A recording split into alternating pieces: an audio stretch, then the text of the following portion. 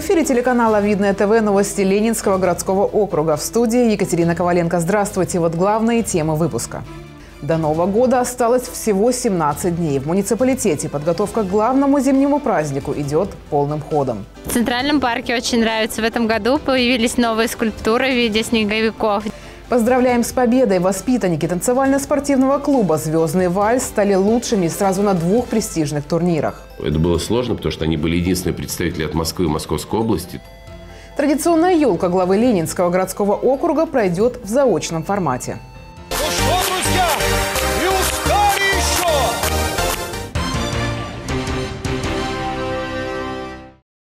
Подготовка к главным зимним праздникам видным идет полным ходом. Световые конструкции, гирлянды, елки и другие элементы, понравившиеся жителям в прошлом году, снова установлены и смонтированы на улицах города. Но к ним добавились и новые украшения. Подробности в нашем следующем сюжете. Новогодний декор города почти готов. Нарядные улицы уже встречают жителей яркими огнями гирлянд и световых инсталляций. Видное в преддверии праздника всегда преображается по-особенному. И люди не перестают восхищаться этим сказочным великолепием. Мне очень нравится, очень красиво. И, и по-новогоднему. Такая атмосфера сказки в город приходит. Елка красивая, так рано поставили. А почему? Ну, потому что рано.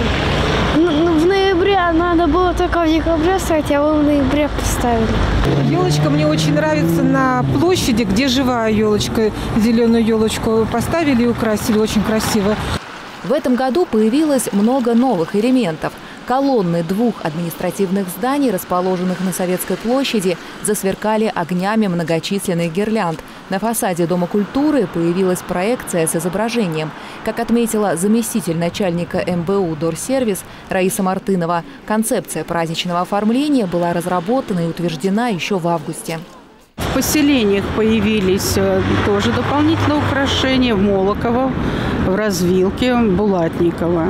Всего в муниципалитете сотрудниками Дорсервиса установлено 35 новогодних елей. А над главной лесной красавицей у кинотеатра «Искра», подобно звездному небу, возвысился световой шатер. Его диаметр составляет 35 метров. В мерцании огней и советский проезд. Улица пешеходная, поэтому иллюминация расположена прямо над дорожкой. Ленинский городской округ практически на 99% на сегодня 9 десятых готов э, по оформлению праздничному 2021 года.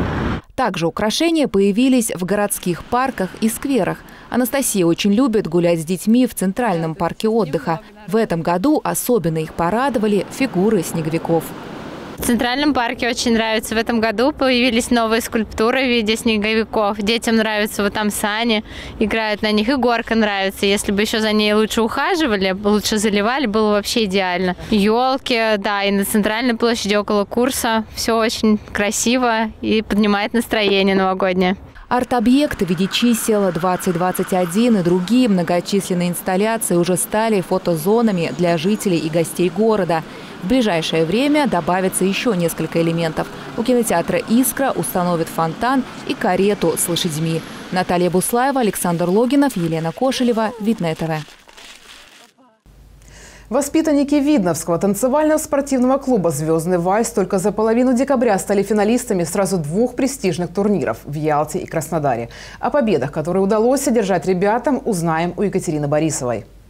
Начало зимы выдалось для танцевально-спортивного клуба «Звездный вальс» очень продуктивным. 5 и 6 декабря ребята приняли участие в открытых республиканских соревнованиях по танцевальному спорту «Крымская жемчужина-2020». Дима с стали финалистами в латиноамериканской программе, а Давид с Евой у нас э, в европейской программе стали победителями, да, не помню сейчас там сколько пар у вас было, но выиграли тоже, это было сложно, потому что они были единственные представители от Москвы и Московской области. В Ялте ребята выступали уже не в первый раз. Чемпионату предшествовали сборы.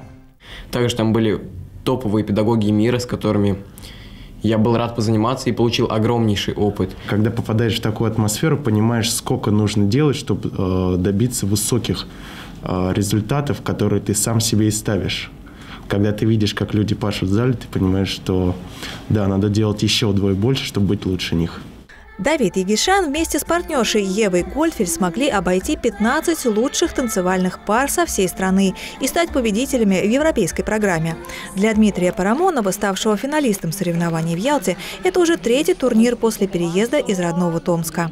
Дмитрий к нам э, переехал из далекого города Томск. Он там жил, танцевал. И мы его, так скажем, перевезли сюда к партнерше. У нас э, хорошая, достаточно тоже высокого уровня партнерша Софья Михина.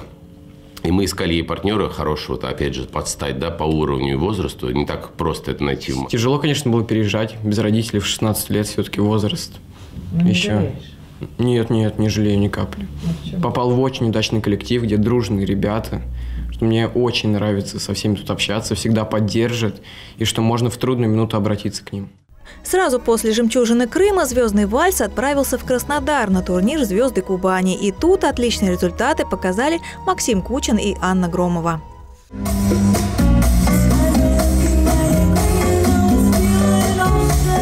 Там, конечно, было достаточно сложно, потому что это открытые группы в основном, и там танцоры международного класса соревнуются. Там около 30 пар. Ребята танцевали несколько туров, дошли до финала. В финале они стали, э, чуть-чуть не хватило до призового места, да, они стали четвертыми, но в своей возрастной группе, в своем классе они первые. Так как мы выступали в открытом классе, там логично, что были соперники выше нас, и у нас был стимул их обойти.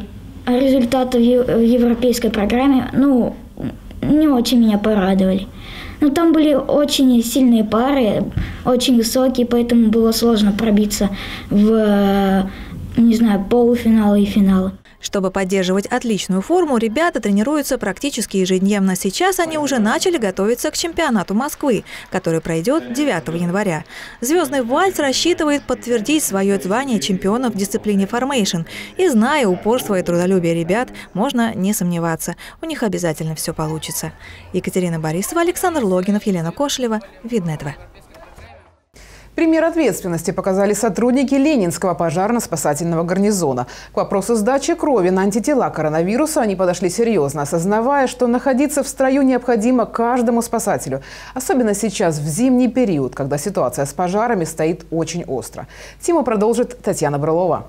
Порядка 20 человек записались на сдачу крови на антитела к коронавирусу. Но когда сотрудница ВРКБ приехала для забора крови, желающих оказалось намного больше. Специфика условий нашей службы да, мы понимаем, что у нас одно спальное помещение, у нас одна комната приема пищи. А в кабине боевого расчета вообще невозможно предусмотреть какой-то социальной дистанции. Поэтому, естественно, и тем более в преддверии праздников нам важно понимать, может быть, у кого-то острая фаза, может быть, кого-то надо отстранить от несения службы, чтобы нам сейчас не допустить каких-то провалов в личном составе. Пример подчиненным подают руководители. Начальник отдела надзорной деятельности и профилактической работы по Ленинскому городскому округу Сергей Дешкин кровь на анализ сдал одним из первых. Узнать э, с, момента пандемии, не, не был ли я болен, э, может быть, уже болезнь протекала как-то бессимптомно и так далее, чтобы узнать, есть ли антитела в организме и понимать свое состояние на будущее. Заместитель начальника надзорной деятельности и профилактической работы Олег Савченко уверен, каждый из его коллег должен быть ответственным в это непростое время. Наша работа связана с профилактикой пожаров, встреча с населениями. Э, естественно, мы с ними общаемся, доводим основные требования пожарной безопасности, и нам важно э, знать наше состояние здоровья, чтобы не распространять, естественно, в случае заражения нас э, данную болезнь и в целом инфекцию среди населения. За время пандемии в Видновской пожарно-спасательной части было выявлено 4 случая заболевания коронавирусной инфекцией. Но люди, работающие здесь, ответственно относятся не только к своему здоровью, но и к здоровью окружающих. Поэтому подобные мероприятия по сдаче крови здесь, вероятно, пройдут еще не раз. Татьяна Брылова, Сергей Ларин, Ольга Садовская. Видное ТВ. В этом году из-за непростой эпидемиологической ситуации традиционная елка главы Ленинского городского округа пройдет в заочном формате. К сожалению, дети не смогут попасть на праздник, однако без подарков никто не останется. Обычно елка главы проходит во Дворце спорта «Видное». На нее приглашают детей сотрудников предприятий и организаций муниципалитета. Ребят, чьи семьи оказались в трудной жизненной ситуации. В зале всегда собираются около трех тысяч человек. Для ребят устраивают интерактивные конкурсы и мастер-классы, после чего начинается сказочное представление. На этот раз спектакль смогут посмотреть не только приглашенные, но и все зрители нашего телеканала. Запись представления прошла в минувшие выходные. А покажем мы в эфире главную елку муниципалитета 25 декабря.